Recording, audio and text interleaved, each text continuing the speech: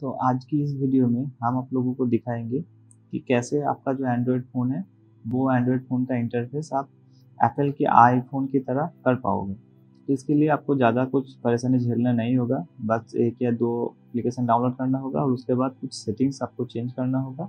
Settings change करने के बाद आपका जो फ़ोन है, वो एकदम से आई की तरह लगेगा। तो हम ये कैसे करेंगे? एंड्रॉयड का जो ऑपरेटिंग सिस्टम है और जो आई का ऑपरेटिंग सिस्टम है, वो दोनों ही अलग है। तो हम एंड्रॉयड में आईओएस वाला ऑपरेटिंग सिस्टम इंस्टॉल नहीं कर पाएँगे, क्योंकि वो वाला इंस्टॉल करने से हम लोगों को बहुत सारा जो फ़ोन का कंपोनेंट होता है, वो चेंज करना होता है। उसके बाद जाकर वो इंस्टॉल होगा। हम लोगों को ऐसा कुछ नहीं करना है, बस हम कुछ एप्लीकेशन और कुछ सेटिंग्स चेंज करके ही वो वाला फील हम ले आएँगे, यानी कि इंटरफेस को पूरा चेंज कर देंगे एकदम से एंड्रॉयड से, और एप्पल हो जाएगा हमारा फ़ोन तो हमें फ़ोन को चेंज करने के लिए पहले हमें जाना होगा हमारा प्ले स्टोर में।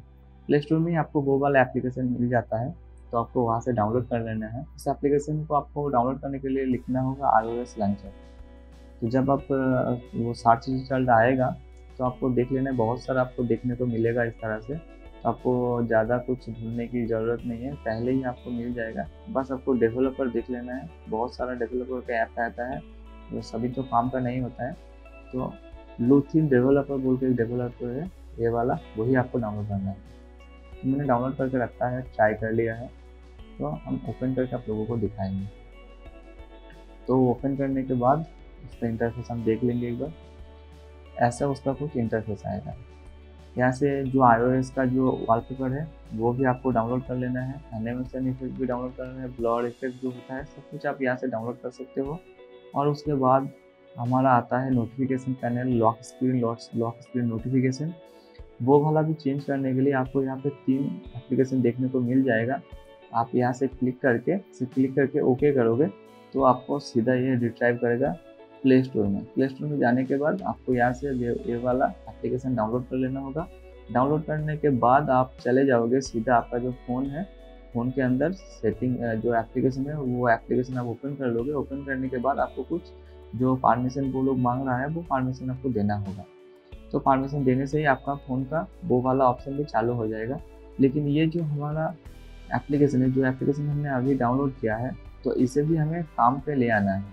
अगर इसे भी हम काम पे नहीं ले आएँगे तो हमारा जो डिफ़ॉल्ट वाला आईओएस यानी कि डिफ़ॉल्ट वाला जो सेटिंग्स है, वो सेटिंग्स पे नहीं जाएगा तो फिर वो वाला सेटिंग्स भी नहीं आएगा। तो उसके लिए हमें क्या करना होगा, पहले हमें जाना होगा हमारा सेटिंग्स में। सेटिंग्स में जाने के बाद हमें जाना होगा एप्लीकेशन मैनेजर पे, यानी कि सैमसंग का जो फ़ोन है एप्लीकेशन नोटिफिकेशन अदर्स फ़ोन में कुछ अलग रह सकता है। उसके हिसाब से आपको देख लेना है कि आपका सभी एप्लीकेशन कहाँ मिलता है आपको। तो हमें जाना है ऐप एंड नोटिफिकेशन में, हम चले जाएँगे। उसके बाद हमें देखने को मिल जाता है डिफ़ॉल्ट ऐप बोल के। डिफ़ॉल्ट ऐप में हमें क्लिक करना है। डिफ़ॉल्ट ऐप में क्लिक करने के बाद आपको एक ऐप देखने को मिलता है होम ऐप बोल के। क्योंकि ये जो होम ऐप है, वही हमारा जो डिफ़ॉल्ट ऐप है, वो सिलेक्ट करता है। तो यहाँ पे आप जब क्लिक करोगे तो आपको दो चीज़ देखने को मिलेगा। एक आई ओ एस लॉन्चर बोल के एक जो आपका डिफ़ॉल्ट फ़ोन का रहता है, वो आपको देखने को मिलेगा। तो हमें आर ओ लॉन्चर को सिलेक्ट कर लेना है। सिलेक्ट करने के बाद ही आपका टोटल जो इंटरफेस है, वो चेंज हो जाएगा। और चेंज हो जाने के बाद आपको तीनों एप्लीकेशन आपने डाउनलोड किया है, वो एप्लीकेशन से तो वो भी आप उसके बाद एक्सेस कर पाओगे। तो अब अगर आप देखोगे तो आपका जो कुछ भी सेटिंग कर रहे हैं, वो कुछ इस तरह से चेंज हो जाएगा। हिडन ऐप का भी आप यूज़ कर सकते हो होम स्क्रीन एडिट कर सकते हो। बाकी जो कुछ भी आपको एडिट करना है, वो आप एडिट करके और भी कस्टमाइज कर सकते हो अपने हिसाब से। अपने हिसाब से या फिर जो उसका एप्लीकेशन है, वो उस एप्लीकेशन में आकर आप और भी ज़्यादा कुछ सेटिंग वगैरह दिया हुआ है यहाँ पे तो यहाँ से आप चेंज भी कर सकते हो, ताकि पूरा का पूरा जो आर का इंटरफेस है, उस तरह का इंटरफेस आप में आ जाए तो हम ज़्यादा कुछ सेटिंग नहीं दिखाएँगे। आप खुद ब खुद इंस्टॉल करने के बाद वो वाला सेटिंग्स चेंज करके जो आपका इंटरफेस है, वो आपका पूरा का पूरा ही आप आई की तरह कर सकते हो।